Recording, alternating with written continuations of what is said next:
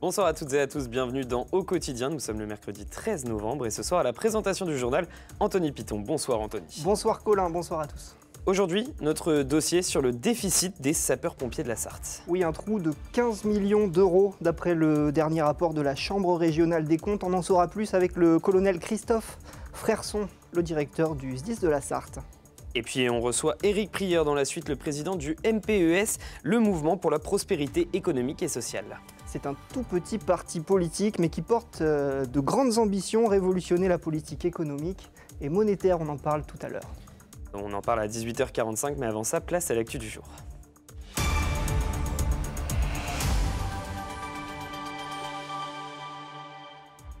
Au sommaire de cette édition du mercredi 13 novembre, Le Mans mise à l'honneur dans un calendrier de l'Avent.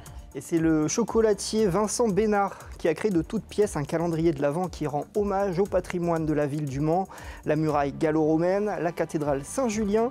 Tous les monuments emblématiques de la ville se dévoilent de façon gourmande. Une opération pour sensibiliser les piétons au danger des passages à niveau à la halte ferroviaire du Mans, hôpital, université. Et puis un chèque de 80 000 euros remis au pôle régional du handicap sur le circuit du Mans.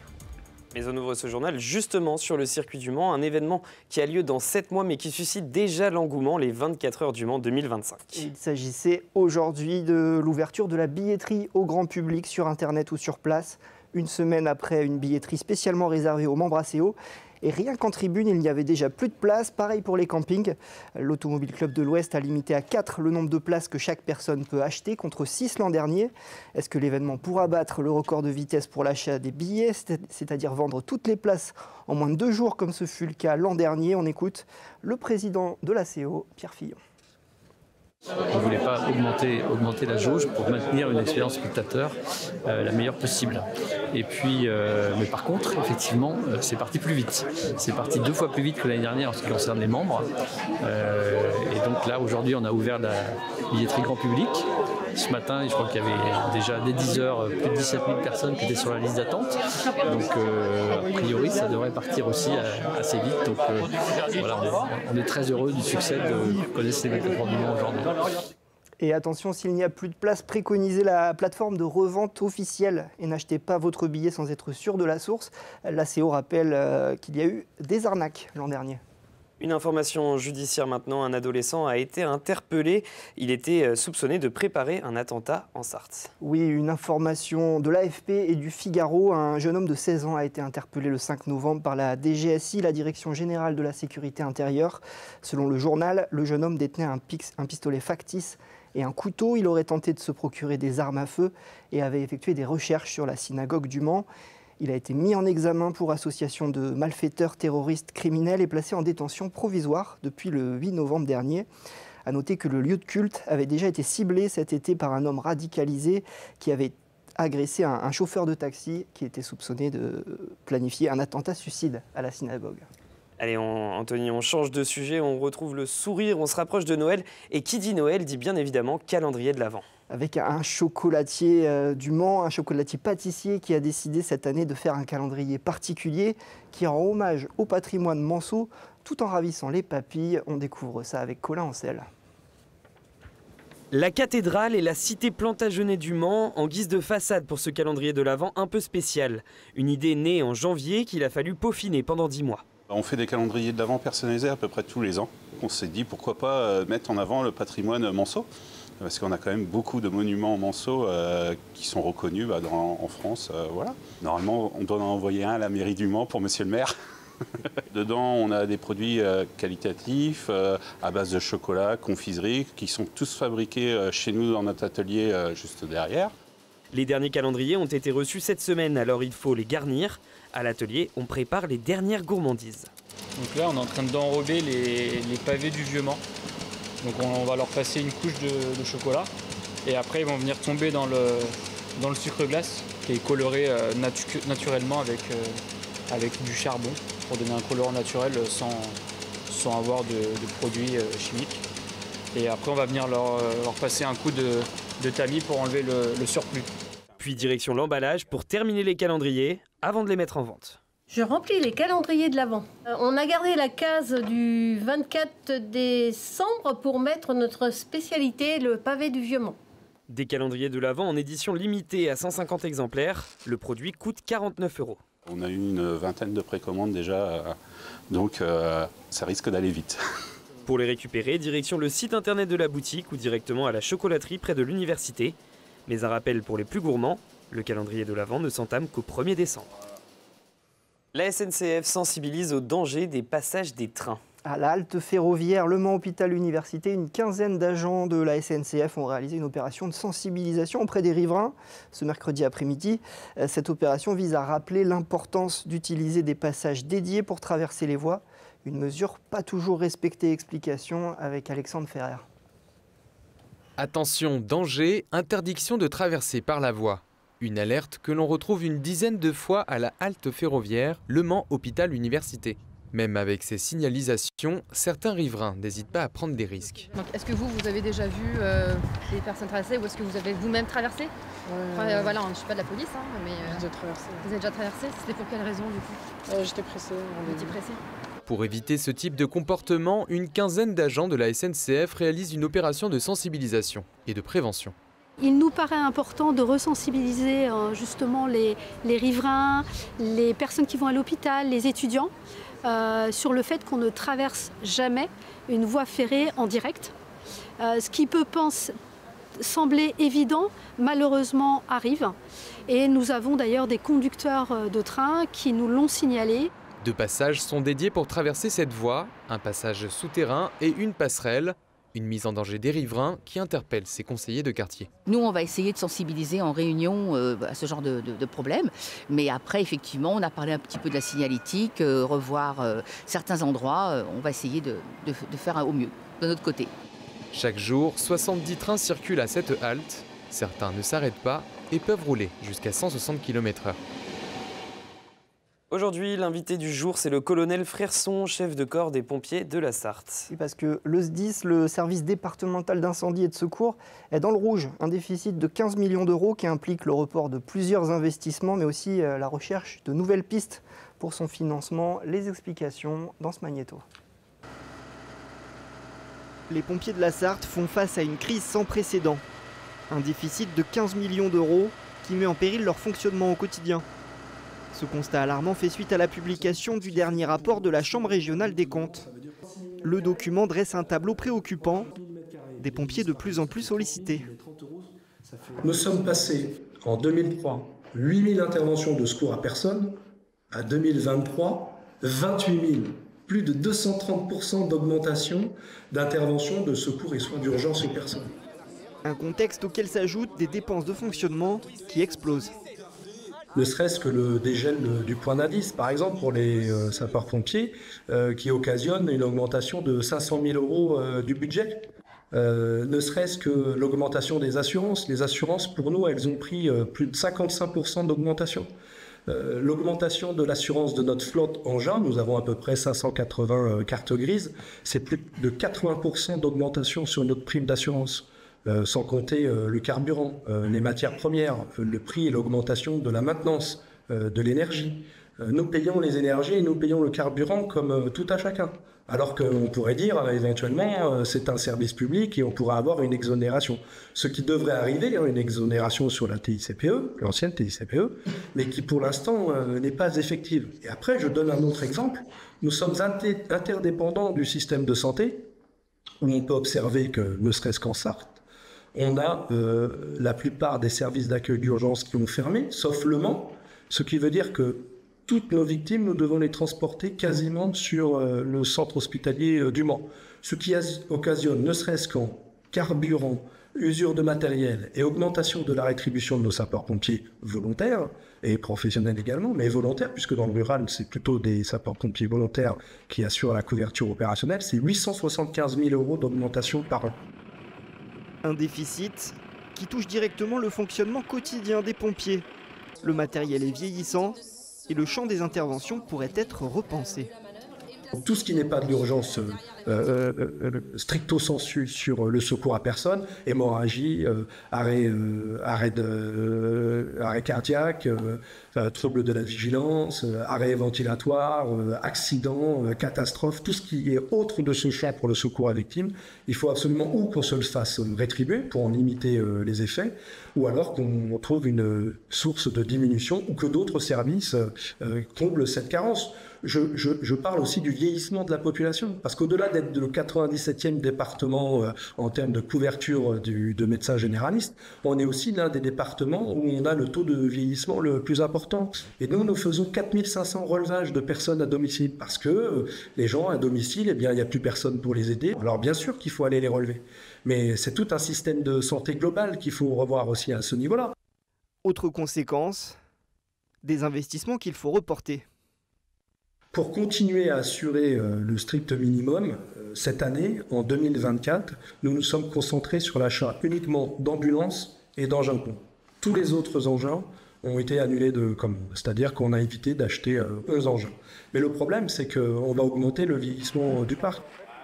Pour sortir de cette situation, plusieurs solutions sont sur la table. Le rapport de la Chambre régionale des comptes suggère d'explorer de nouvelles pistes de financement. Il faut diversifier les sources de financement des services départementaux d'incendie et de secours. Leur, permis, leur permettre de faire des économies sur euh, le carburant, par exemple, sur, euh, sur, sur le chauffage, sur l'assurance aussi. On est en train de réfléchir à, de l'auto-assurance. Maintenant que le coût est tellement exorbitant sur l'assurance de notre flotte, il va falloir qu'on réfléchisse dans les prochaines années à être notre, notre, propre, notre propre assureur sur, sur la flotte. Alors pas en responsabilité civile, bien sûr, mais au moins, mais au moins sur une partie de la flotte et du remboursement des véhicules qui auront atteint une, une durée moyenne de plus de, de, plus de 5 ans. D'autres réfléchissent aussi euh, aux taxes de séjour, augmenter les taxes de séjour. D'autres réfléchissent aussi euh, à dire euh, risqueur payeur, comme on a eu à un moment donné pollueur payeur. C'est de dire bah, je génère un risque, ben, je contribue à une, une, taxe. Comme on a la taxe GMAPI sur la taxe routière, on pourrait très bien avoir une, une taxe sapeur-pompier sur sur euh, la taxe foncière ou sur d'autres types de taxes. Alors bien sûr, euh, ça participe à, l'augmentation des impôts, mais, pas que. Et ça, aujourd'hui, euh, on n'est pas dans une, dans une conjoncture qui permet d'anticiper ou de réfléchir à une augmentation des impôts. Aujourd'hui, les ressources du SDIS sont composées à 98% des fonds provenant du département, des communes ou d'établissements publics intercommunaux. Des recettes nettement inférieures à la moyenne des SDIS de même catégorie 64 euros par habitant en Sarthe en 2023. Allez, on ouvre une page sport et on commence avec une victoire, celle du MSB qui se qualifie pour les huitièmes de finale de Coupe de France. Une victoire acquise sur le parquet de Hier-Toulon contre cette équipe de Pro B et privé de plusieurs joueurs. Le Mans fait tourner son effectif et est mené d'un petit point à la pause. En deuxième période, les tangos accélèrent et contrôlent. Victoire 84-77.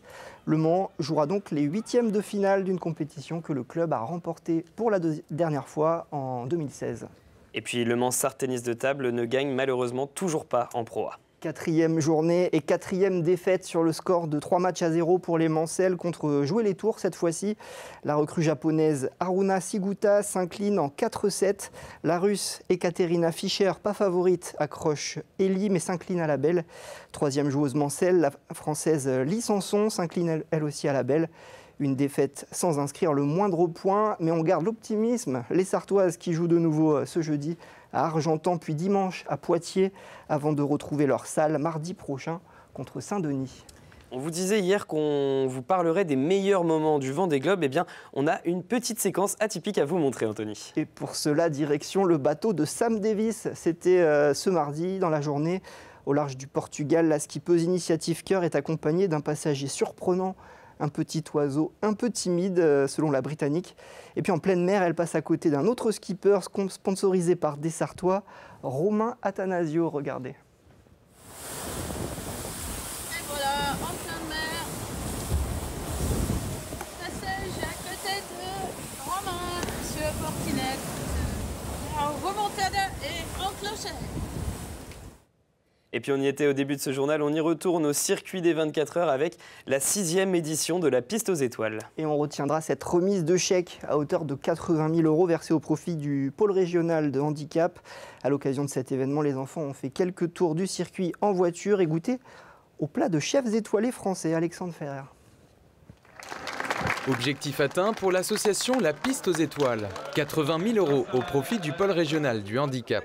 Une partie sera consacrée au projet du pôle pédiatrique de Saint-Saturnin. Ce financement va nous permettre de pouvoir créer euh, un jardin, euh, un jardin euh, qui se veut intime pour pouvoir accueillir les, les enfants et leurs proches dans un lieu vraiment beaucoup plus intime, sortir du soin, pouvoir se retrouver en, dehors, en dehors du soin et de pouvoir maintenir ce lien familial qui est indispensable. Créée en 2018 par Frédéric Saucé, la Piste aux Étoiles organise une journée solidaire au profit des enfants du centre de l'Arche.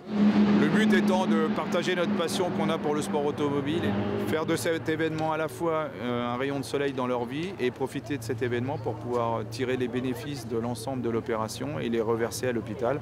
Une deuxième passion au cours de cette journée, la gastronomie. 21 chefs étoilés français sont invités. Les dates de la 7e édition seront le 17 et 18 novembre 2025. Voilà, c'est la fin de l'actu. On se retrouve dans quelques instants avec Éric Prieur, le président d'un petit parti politique, MPES. Alors c'est quoi? Quelles sont ses convictions? On voit ça dans un instant, juste après la pub et la météo. A tout de suite.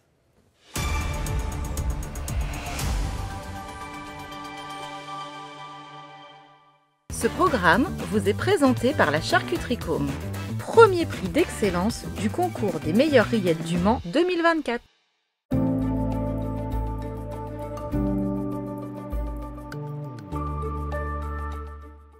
Eh bien bonsoir messieurs, dames, ravi de vous retrouver ici comme tous les jours sur LMTV Sarthe. Denis Delcourt pour vous accompagner dans la joie mais également dans la bonne humeur. Alors c'est vrai, beaucoup de nuages cet après-midi, c'était assez compliqué de voir les rayons du soleil pour cette journée. Malheureusement pour votre soirée, des conditions météo qui resteront à peu près identiques avec toujours de nombreux nuages sur l'ensemble du territoire, des températures qui évoluent entre 6 et 7 degrés. 6 degrés pour Alençon ou encore pour Laval, comptez 7 degrés à au Mans ou encore pour la Flèche, 7 degrés également à Vendôme, Blois ou encore à Tours, 8 degrés du côté d'Angers. Alors, bonne nouvelle les amis, regardez pour ce jeudi matin, on va retrouver de belles éclaircies, alors il faudra en profiter, mais regardez à quel prix celui des températures très fraîches, entre 1 et 3 degrés, il faudra bien se couvrir.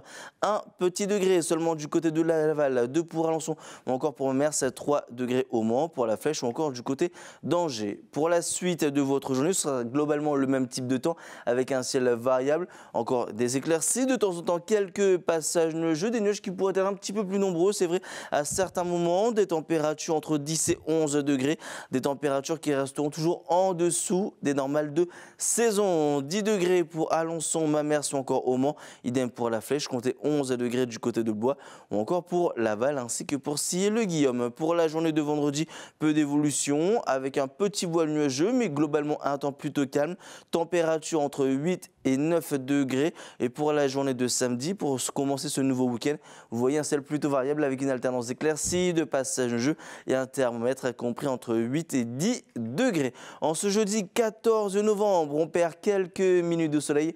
Je vous souhaite, les amis, de passer une très bonne journée.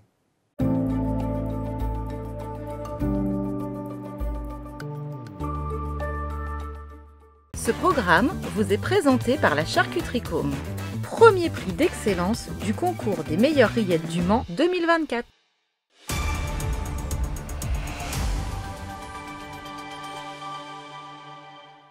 Bienvenue à vous si vous nous rejoignez pour au quotidien la suite. On commence comme d'habitude avec euh, la qualité de l'air avec notre partenaire RPI de la Loire.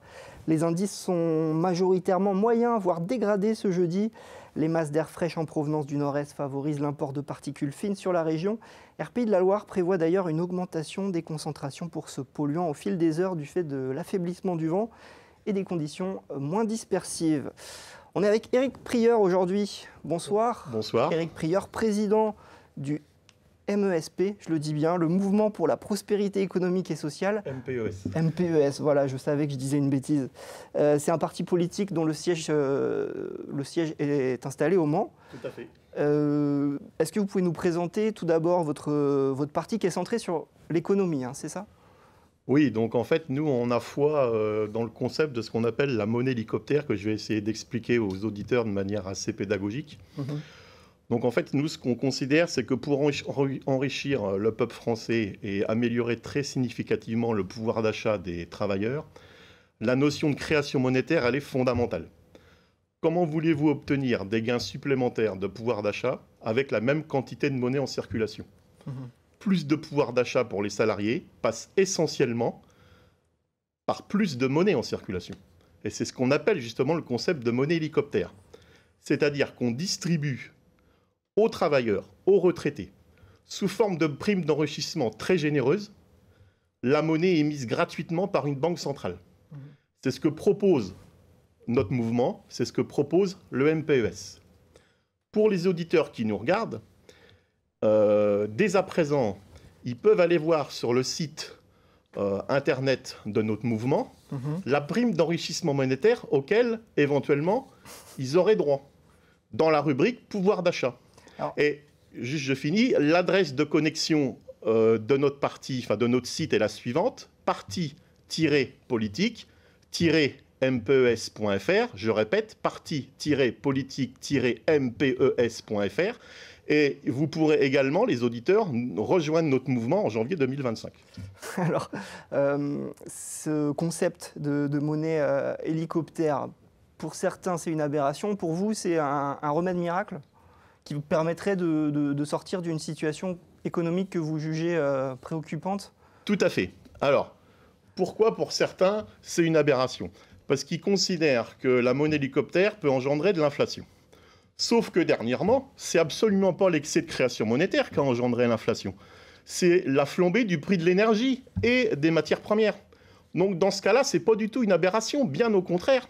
Dans ce cas-là, la création et la distribution de monnaie à destination des populations sous forme de primes d'enrichissement permettrait très largement de compenser les effets de l'inflation qui viennent d'autre part et de maintenir la progression du pouvoir d'achat. Donc c'est tout sauf une aberration, bien au contraire. Et cette euh, monnaie hélicoptère, ça serait quoi alors? Puisque l'euro resterait euh, en vigueur, ça serait du- le franc? Alors, je pense que dans un premier temps, il faudrait passer par une deuxième monnaie en circulation, puisque le concept d'indépendance de la Banque centrale nous empêche ce concept de monnaie hélicoptère pour cause de lutte contre l'inflation, et je viens de vous démontrer que c'était un peu aberrant. Donc, dans un premier temps, il faudra passer par une deuxième monnaie. Le temps de renégocier Maastricht, il n'est pas question de sortir de l'euro, parce que malgré les handicaps dont on vient de parler, l'euro a aussi des vertus, comme la suppression du coût des conversions des monnaies. Ça facilite aussi les échanges au sein d'une grande zone commerciale unifiée. Donc l'euro a ses avantages, il a aussi ses inconvénients. Pour remédier aux inconvénients, on pense dans un premier temps, il faut alimenter euh, par une deuxième monnaie, de manière justement à pouvoir distribuer sous forme de primes aux Français.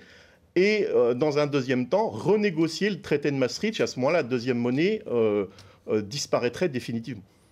Le risque, c'est l'inflation, mais c'est aussi la dévaluation euh, monétaire, la dévaluation de l'euro. Ça, vous pensez que... Alors justement non, parce que euh, comme il y a une deuxième monnaie qui circule parallèlement, lui, l'euro, il n'est pas impacté. C'est justement la subtilité de dire il y aura une deuxième monnaie sous forme de monnaie hélicoptère, d'accord, qui permettrait d'enrichir les populations, tout en garantissant le pouvoir d'achat extérieur de notre monnaie, euh, l'euro, puisque lui, l'euro ne serait pas impacté dans ce cas-là.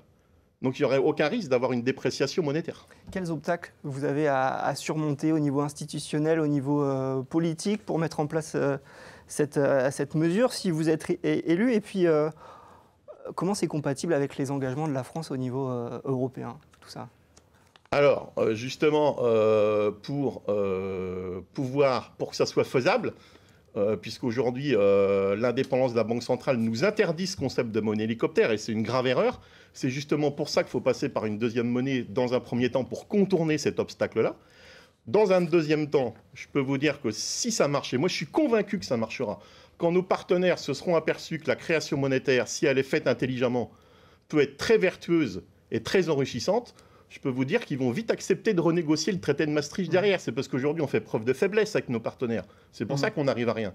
D'accord? Mais le, déblocage se fera naturellement dans ce cas-là. Et à ce moment-là, on peut faire disparaître définitivement la deuxième monnaie pour avoir plus que de l'euro, mais un euro qui ne sera plus basé sur une banque centrale indépendante, mais que les pays pourront créer euh, naturellement pour satisfaire les besoins des populations. Voyez? Rapidement, comment vous espérez faire porter la voix de votre mouvement euh, Ça va passer par des, des élections Vous euh, comptez vous, vous, vous présenter là aux prochaines échéances? Alors c'est ça le plus compliqué. Là, vous avez touché à un point euh, Parce que vous êtes un petit parti, on l'a pas dit, mais il y a quoi, une centaine d'adhérents en France? Ouais, enfin des adhérents, des sympathisants plutôt. Donc c'est vrai que c'est difficile, on n'a pas beaucoup de moyens. C'est pour ça que j'invite les auditeurs à nous rejoindre, à venir nous aider. Donc effectivement, peut-être essayer sur des élections, mais ça, ça sera compliqué.